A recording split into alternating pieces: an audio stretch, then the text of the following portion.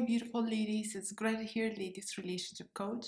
And today, my queens, let's talk about texting, what not to text to a guy. Ladies, texting in a relationship is very important. This is how we stay in touch. In so many ways, we turn guys off just by texting in the wrong way. Therefore, in this video, I will share with you two conversations where the girls over pursued a guy and he lost interest like that. So make sure to watch this video till the end not to make these mistakes. So the first conversation is where the girl over pursued a guy and turned him off. So we got Jessica here, right? And she says, she's sending the message to the guy and she says, Hey, how are you? What you're up to? I'm so bo- I'm so bored. So she is already the one starting the conversation first and pursuing a guy, right? And saying that I'm so bored actually makes you pretty low value because she's basically saying, please entertain me. I cannot make myself happy. I'm bored. My life is boring that's not very attractive.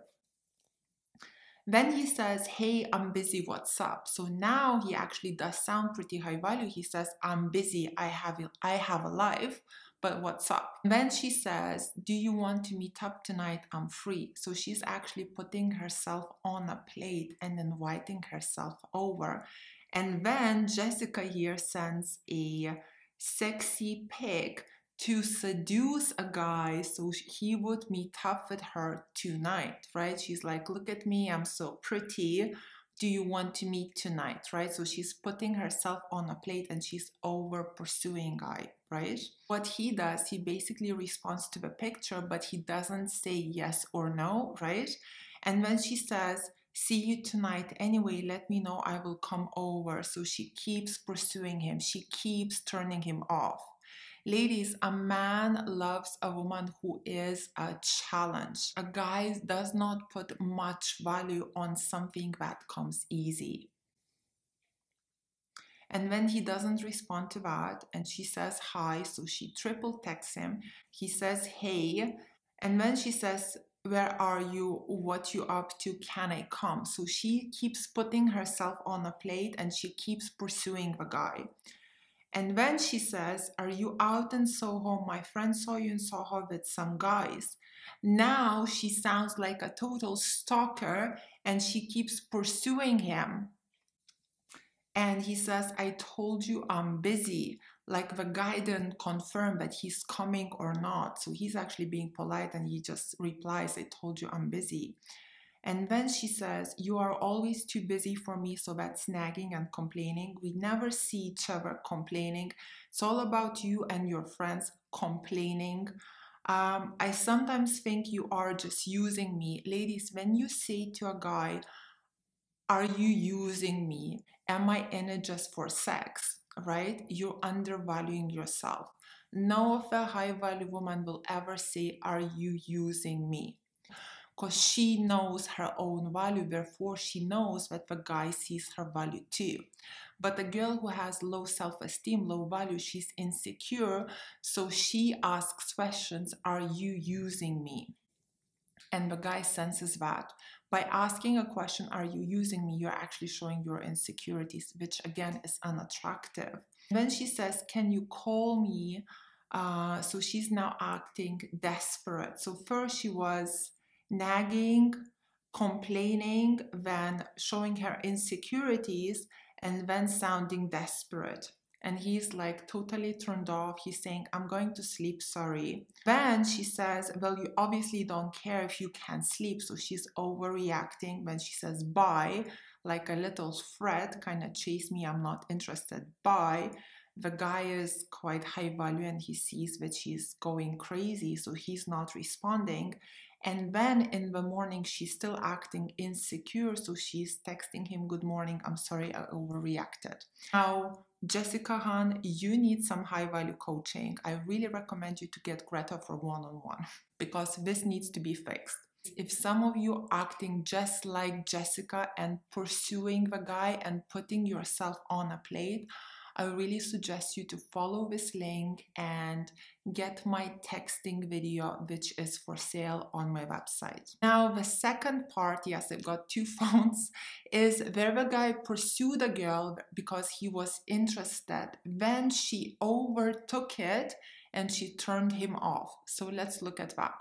So he says, Hey, gorgeous. He's, she says, Hey, he says, How you feeling? I'm so hangover from last night. She says, Oh my God, me too, still in bed. And he says, Still in bed? Do you want me to bring you a hangover cure? So he's kind of fighting himself at the last minute. High value girl would not accept the last minute.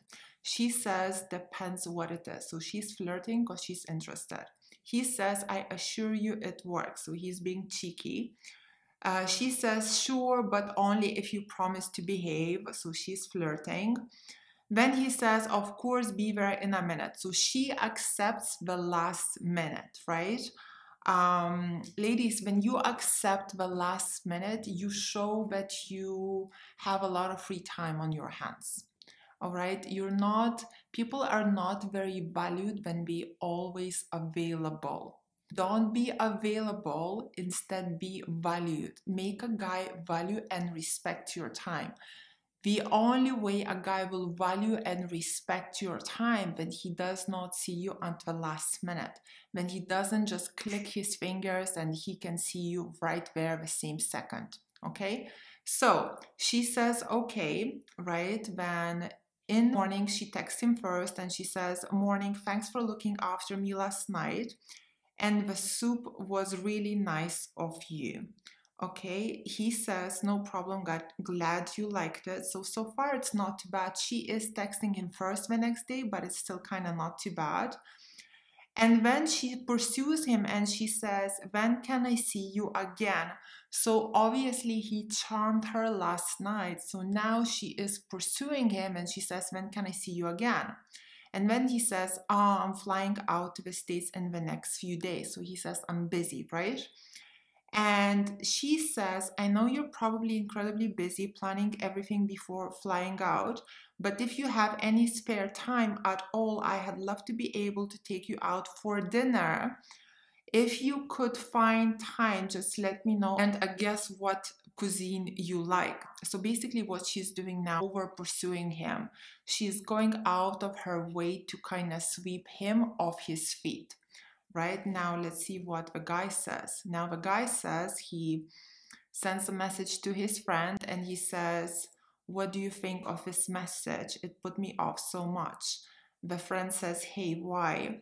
And then he says, It's just too easy. There is no more chase or something. I feel like she's in love with me already because she's asking him out. Will you go for dinner? He says, Perhaps, but not really that bothered, to be honest. Ladies, this is how you over pursue a guy and you turn him off. Ladies, when the guy is pursuing you, just respond to it. Let him pursue you. Enjoy it. You're the lady. He's pursuing you. He's giving you take it and enjoy it. Yes, you can appreciate it and be all happy, but that's about it. Let him give you and let him pursue you. Because when he pursues you and he charms you, and then you overtake him because you like him so much, you're turning him off. You're turning him off by being too easy, by pursuing him. It's his job to pursue you, not yours. Ladies, watch my video how to be a challenge for a guy and you can find it just by following the link right here. Also, another video I would really recommend you. I have another texting video where I'm breaking down for you very needy, naggy messages, which you can find that free video just by following the link right here as well.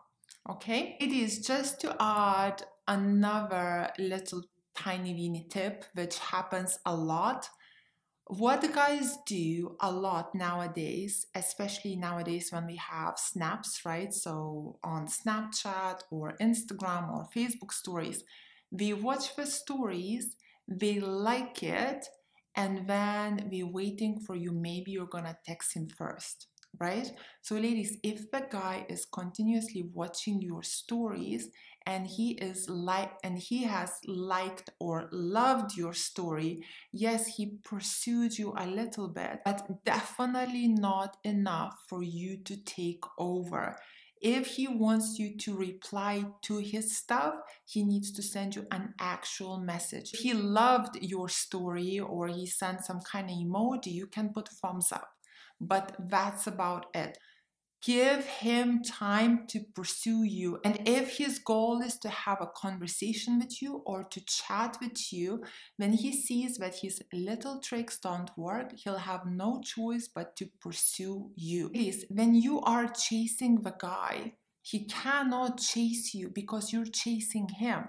If you want a guy to chase you, stay patient, practice patience and emotional control.